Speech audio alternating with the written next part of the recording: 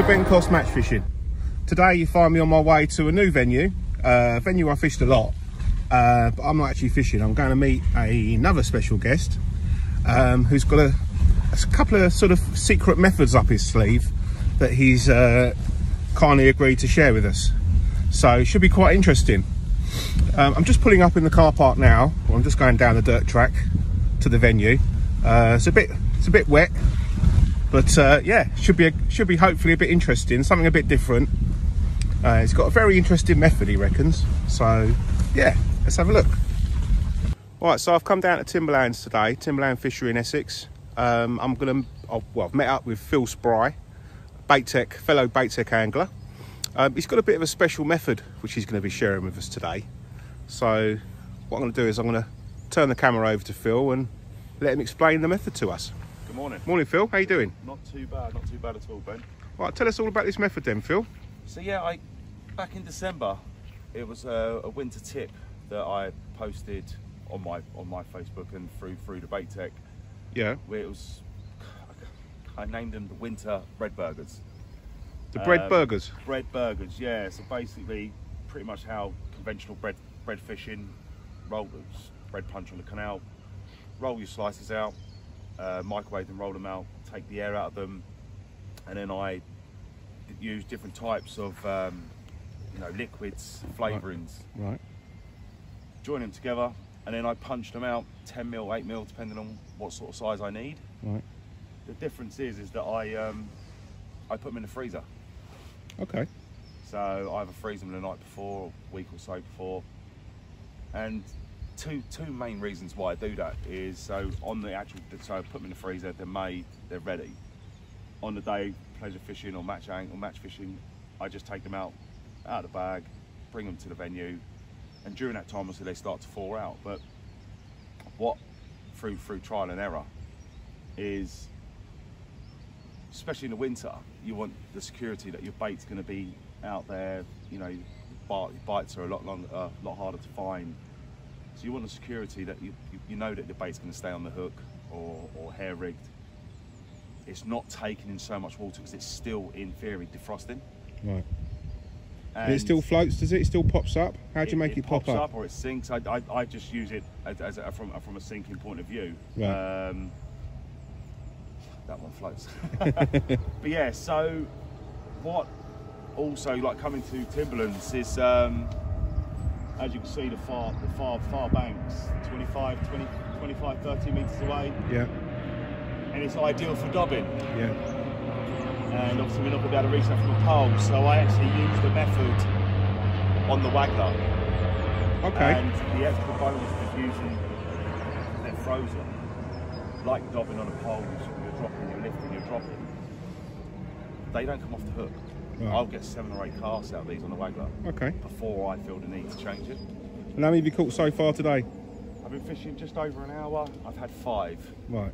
I've had um, four on the waggler and one on the bomb still pretty cold it's taken a lot of rain over the last week or so isn't it so Yeah, it's, uh, yeah. it's got a good colour on it it was very clear a couple of weeks ago It certainly looks very nice. Yeah. There's not much. I've seen a bit of activity across the far shelf. So, you, but, um, so you're chucking across the far bank there, Phil, yeah? tight to the reeds. Yeah, literally tight as we can possibly get. Clipped up on the bomb. I'm even clipped up on the waggler just Right. to make sure I'm hitting that. Still with the bread burger. Still with the bread burgers. Yeah, I've not tried anything else. It's um, I had a couple couple of sessions during the Christmas and New Year when we could get out, and um, yeah, that's all I fished. What we'll do, Phil, is uh, when you reel that one in, when you're sort of baiting up, uh, if you could show us the little setup that you do Yeah, no problem. and how it works, that'd be great. Yeah, no problem. Right, let us know. Talk, talk us through your setup, please, uh, Phil. So, direct main line straight to um, an uh, X-Safe Guru bomb Yep. with a, uh, I think it's a four pound straight to a 14 hook. Yep. A little hair rig. Okay. Don't need to uh, go too light because you're fishing tight to the bank. You want a bit of strength to uh, What's that spike there? straight on the spike. Yeah. Um, literally pick up. You know, the, you can feel them. You know, they, they, they, they're still quite firm. Right. It's not like the way you punch in the bread and you're popping, you know, straight from a fresh slice, but they're very firm, literally needle straight through the middle. Same time, I choose an additive. I've got a couple here that I, I Yeah. like to, I favour. Um, only apply it to one side bit pretty much like I'm making a sandwich, Ben. Right, got it. Um, and then through again through trial and error, best thing is to let it set for a little bit. You know, Right. give it get, at least give it 30 seconds to a minute. Yeah, Turn it over, get the air to both sides. Let, Yeah. let the um, let the liquid sort of take its toll. sort of absorb into it. Yeah, and then I've again through trial and error the um, the guru punch. I find it's quite quite good because you as you press into the bread, Yeah, you want that bit of firm, the, the bit of firmness. on top Got it. to sort of bind them together. I've got it. So uh, Yeah, it's great. yeah. And what they look like? What, what size punches are they? Got six mil, No, I use that's an eight mil, eight mil. 10, 8 and six. It, it, Brilliant. Depending on pretty much. Brilliant. They look great. Go on then. Shall I, shall I say you catch one?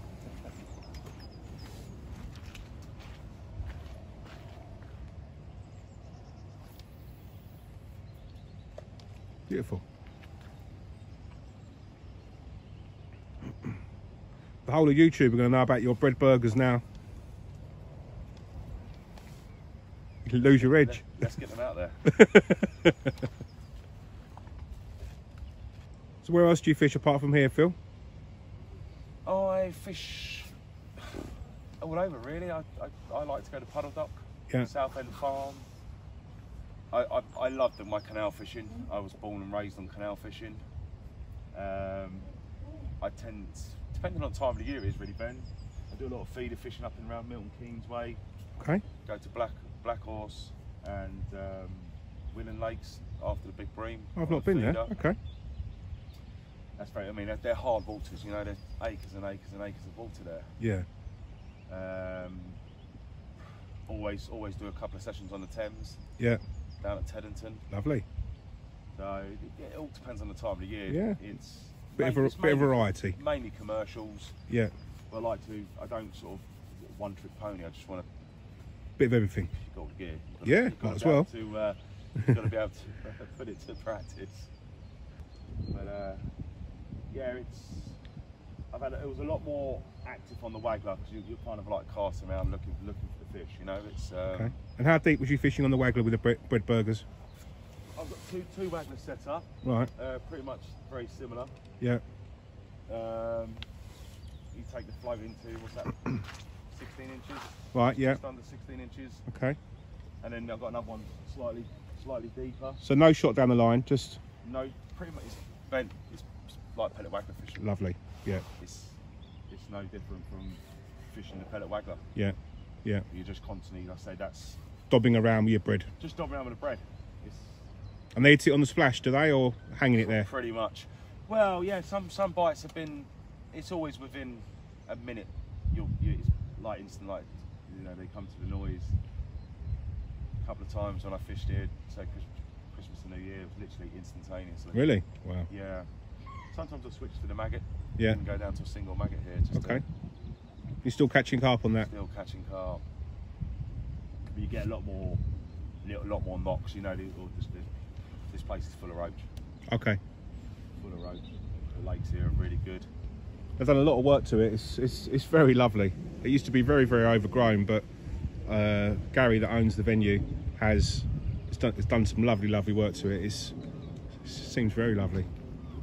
It's a great place for people to come and uh, young, young, you know, young kids trying to get into fishing. Yeah.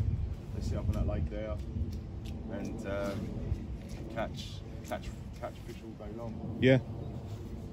Bless him. Oh, it's an Olympian.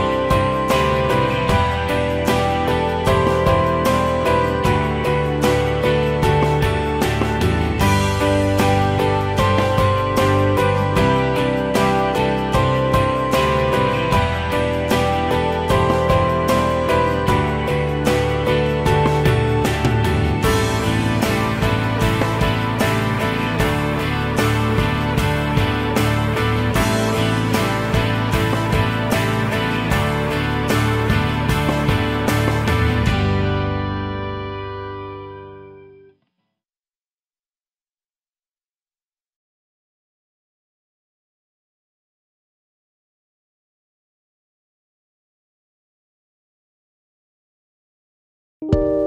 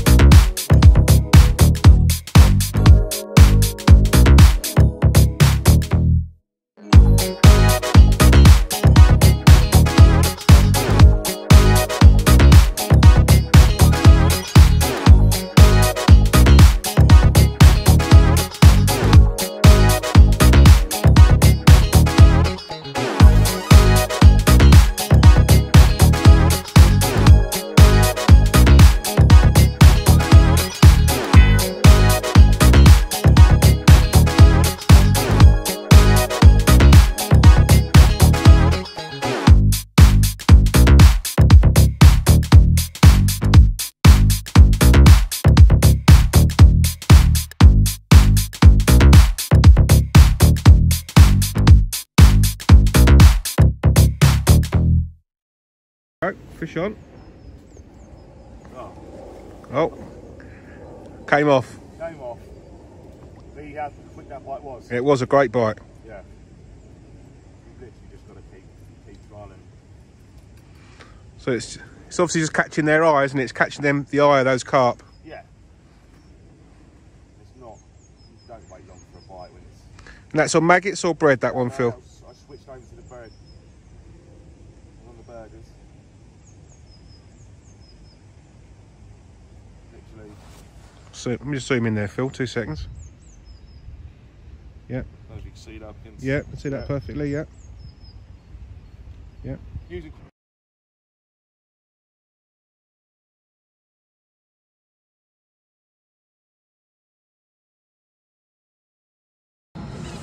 Right, Phil. So we've come to the end of the day. Um, how, how's it gone? Not well, not what I expected. Look, I've caught fish. You can't, you know, that- that's what we come to do. We come to catch fish, even as a, as a pleasure day. Yeah. Um, yeah, I'm happy with my happy with my start. Obviously, most most most venues you start off pretty well. I came here to catch on the bread burgers, and I have done. Uh, very early doors on the waggler and the Bomb. Then it sort of dried up, as you know, um, and we, I found myself hunting around for bites. In the end, I had to result going, coming off the bomb, putting on a small hybrid, really scaling down on the hook size and, a double maggot, and I've managed to nick one quite late on. But overall, I'm not disappointed. I- Like you know, these are in, in my eyes. I believe in them. I put you know, I'm, I'm very confident in what they do. I'm not disappointed. And I Excellent. don't think, you know, I, I, I do recommend it. Certainly, I know we sort of, you know, we're going to start coming out of winter now, but we're not really match fishing. But there, there, there's something to think about in the future. Yeah, I think they're a great little, great little thing. It's something to have under your belt, aren't they? Yeah, definitely. Something to have in your locker. Exactly. You saw about the, the whole constant casting with the, with the waggler. Yeah. And I was getting five, six casts. On the same one? On the same, on the same, on the same burger. Yeah. So, uh, Much more resilient. Yeah, much more, much more, and it just gives you that, that confidence of when you're fishing batch or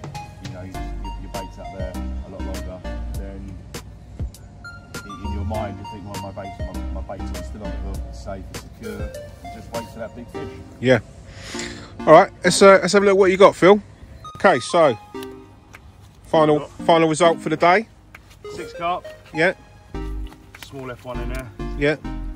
Yeah, Oh, good, good stamp, you know. Oh, God, they're ice cold. Well, it's, it's it's been minus two all day.